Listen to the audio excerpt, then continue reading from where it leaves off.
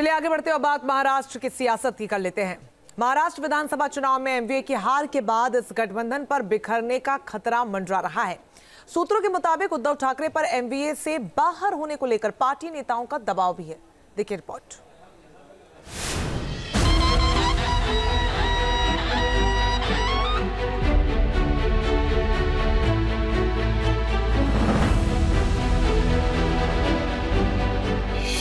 महाराष्ट्र में एमवीए पर मंडराया टूटने का खतरा। विधानसभा चुनाव में करारी हार ने उद्धव पर बढ़ाया एमवीए छोड़ने का दबाव। तो क्या महाराष्ट्र में बिखर जाएगी महाविकास अघाड़ी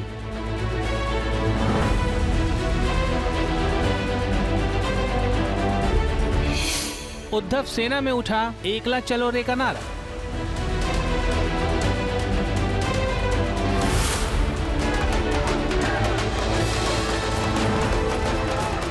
महाराष्ट्र विधानसभा चुनाव में महायुति की प्रचंड जीत के बाद अब विपक्षी गठबंधन एमवीए पर बड़ा खतरा मंडराने लगा है। अंदर खाने खबरें मिल रही हैं कि विधानसभा चुनाव के नतीजे के बाद उद्धव ठाकरे महाविकास अघाड़ी से बाहर हो सकते हैं। एमवीए से पीछा छुड़ाने के लिए शिवसेना यूबीटी के नेता कांग्रेस पर हार का ठीकड़ा फोड़कर उसे जिम्मेदार बताने में जुट गए हैं।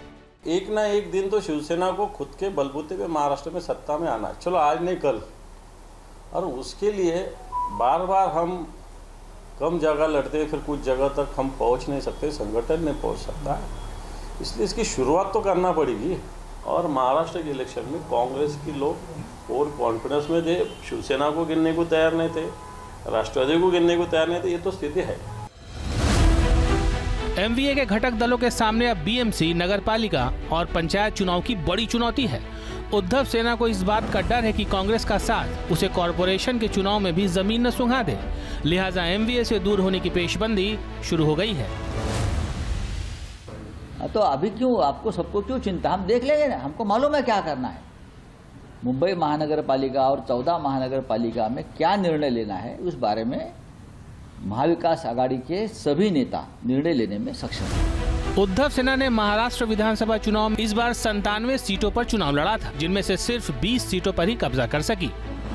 महाराष्ट्र की सियासत पर करीब से नज़र रखने वाले जानकारों के मुताबिक, ये चुनावी रिज़ल्ट ही शिवसेना यूबीटी के नेताओं को डरा रहा है। देश की सबसे अमीर कॉरपोरेशन बीएमसी पर लंबे वक्त से काबिज, उद्धव सेना इसे किसी भी कीमत पर गंवाने के मूड में नहीं है। लिहाजा, वो सख्त फैसला लेने के मूड में है। जब शिवसेना में जो ये बंडखोरी हुई थी तो उनके पास केवल पंद्रह एमएलए थे। पंद्रह से वो पाँच बढ़ के बीस हुए। हालाँकि ये जो आंकड़ा जो है, वो भी कम है। लेकिन अगर ये बीस में से अगर आप एमएलए की अगर गिनती करें तो उसमें से भी सेवेंटी परसेंट जो एमएलए वो बॉम्बे से तो बॉम्बे में उनकी जो ताकत है, मुंबई में उनकी ताकत है, वो कम हुई नहीं। वो वैसे की वैसे बरकरार है। जहाँ जहाँ मुंबई में रिबेल हुआ था, वो रिबेल जो है, उसके खिलाफ उद्धव ठाकरे के गुट के जो उम्मीदवार है, वो चुन के आया तो आज भी मुंबई के ऊपर उद्धव ठाकरे की पकड़ अभी भी मौजूद है। गौरतलब है कि विधानसभा चुनाव के रण के बाद, जब सियासी दलों के सामने कॉरपोरेशन और पंचायत लेवल का चुनाव चुनौती बनेगा, ऐसे में सीट शेयरिंग मुश्किल टास्क होगा और हर पार्टी को अपने कार्यकर्ताओं को तवज्जो देनी होगी। ऐसे में स्थानीय स्तर के इन चुनाव में कोई गठबंधन काम नहीं करेगा।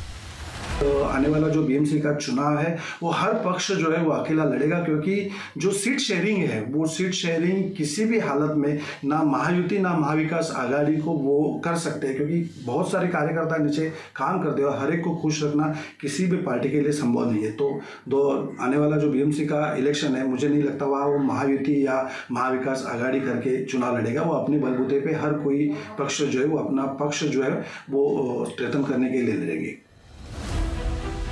नई सरकार की ताजपोशी के बाद महाराष्ट्र में 45 स्थानीय निकायों के चुनाव की प्रक्रिया शुरू हो जाएगी। सूत्रों के मुताबिक, चुनाव की समीक्षा बैठक के दौरान मतोश्री में उद्धव सेना के 20 विधायकों में से ज़्यादातर ने एमवीए छोड़ने के पक्ष में राय दी है। कहा जा रहा है कि उद्धव ठाकरे पर अब एमवीए छोड़ने का दबाव बढ़ता जा रहा है। राज्य में विधानसभा चुनाव ज़रूर हो गए हैं, लेकिन मुंबई का रण अभी बाकी है। इसमें उद्धव ठाकरे का अंतिम इम्तहान होगा। मुंबई से चेतन काशीकर के साथ team News Nation. News Nation, अब व्हाट्सएप पर। खबरों के ताज़ा अपडेट के लिए न्यूज़ नेशन के इस क्यूआर कोड को स्कैन करें।